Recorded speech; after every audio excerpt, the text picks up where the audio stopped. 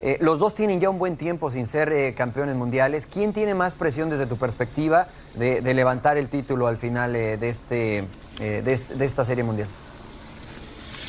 Bueno, yo creo que ambos, porque estamos hablando de la segunda y tercera nómina más abultada de las grandes ligas. Fue un gran compromiso por parte de los Dodgers de Los Ángeles traer un Shohei Otani, un Yoshinobu Yamamoto, también frenar un Tyler Glasnow y traer a un Teóscar Hernández, una inversión de más de un billón de dólares de compromiso que tienen con esos jugadores por parte de los Yankees de Nueva York es la segunda nómina más abultada, los Dodgers es la tercera, la primera, pues se pregunta en esos meses de Nueva York, que fueron apaleados por los Dodgers, mi estimado príncipe. Mm.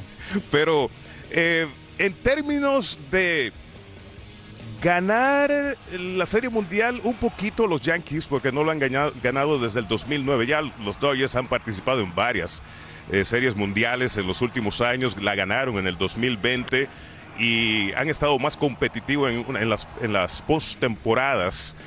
Eh, últimamente más que los Yankees de Nueva York, más sin embargo, los Yankees eh, pues no han tenido esa suerte de participar ni siquiera en la Serie Mundial desde el 2009. Desde ese punto de vista, para mí, creo que la presión está más tirada hacia el, equipo de los Yankees de Nueva York. Los Dodgers van a la Serie Mundial.